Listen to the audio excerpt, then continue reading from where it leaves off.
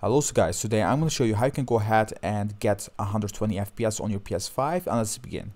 First of all guys, there are some couple things what I need to explain to you guys.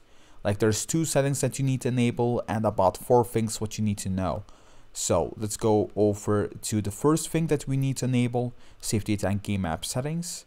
And over here go over to game presets, go over to performance mode and make sure that this one is on.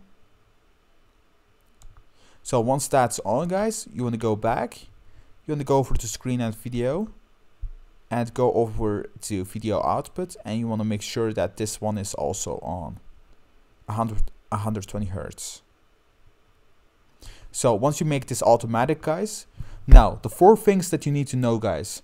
Number one, make sure that you actually have a 120 Hertz screen. So if you don't have a 120 hertz screen, you can basically not see 120 FPS. So you can basically have a 60 hertz screen and your FPS could say maybe 200, but you cannot even see it. So yeah, why would you basically do that? So, and now the second thing what I want to say is make sure that you get the right HDMI cable. So I recommend you guys to use the original HDMI cable that you have with your PS5.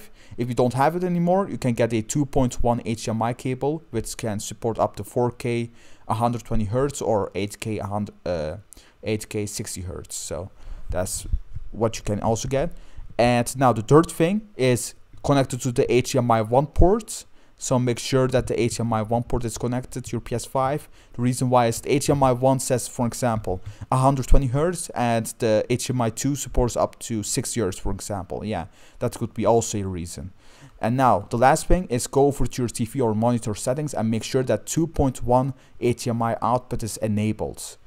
And yeah, this is how simple it basically is, guys. Make sure that you do all of those things and then you're basically good to go. And if you still have a problem, just comment down below, guys, if you still have some problems about it. And also, if you have a video suggestion, also comment it down below. And like and subscribe, guys. Thank you so much for watching. Please like, subscribe, and take care.